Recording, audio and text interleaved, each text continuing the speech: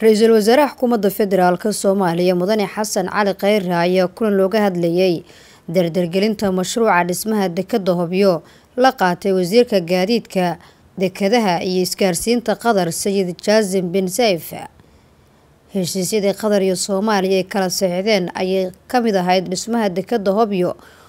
oo muhiim u ah dalkeena iyo shacabka soomaaliyeed taasi oo ay dhismaheeda dowladda soomaaliya siinayso ahmiyad weyn ra'iisul wasaaraha xukuumadda federaalk soomaaliya mudane xasan cali kheyre iyo wasiirka gaadiidka ee dekadaha qatar ayaa isla qaatay ahmiyadda ay dowladda soomaaliya ku fadhiso dhismaha dekadda hobyo isagoo wasiirka dekadaha qatar ballan qaaday in dowladda qatar ay bilaabayso dhismaha dekadda hobyo ee gobolka mudug.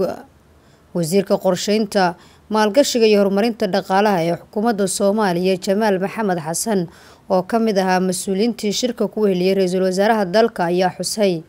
in dhowaan la bilaabi doono howlaha lagu dhisayo dekadda hobyo shirkii hadda soo dhammaaday waxaa looga hadlay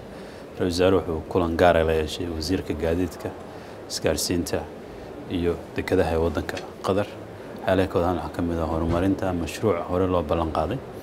iyo bilaabidda ee dardargelinta mashruucii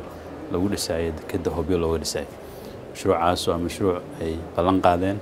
ay tageen soo arkeen soo fiiriyeen. Maadaama maalin hore ay dhowr bilood ka hor tageen ra'isul wasaaruhu wuxuu ku adkeeyey kana codsaday in mashruucii la bilaabo sida ugu dhaqsaha badan. Mashruuca hadda ayaa bilowgiisa mashruucaas bilaabanaya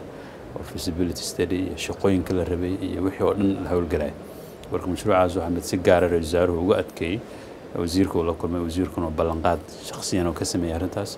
oo ballan qaaday inuu maanta dabagala hadda laga bilaabo mashruucaas sidii loo hirgelin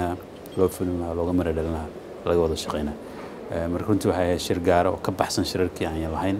wasaaraha waddankan iyo wasiirada kale lahayn. Waxay tusa ahmiyadda ay leedahay mashruucaasi leeyahay. Sida dowladda soomaaliya ballanqaadka dhexdhigii madaxweynaha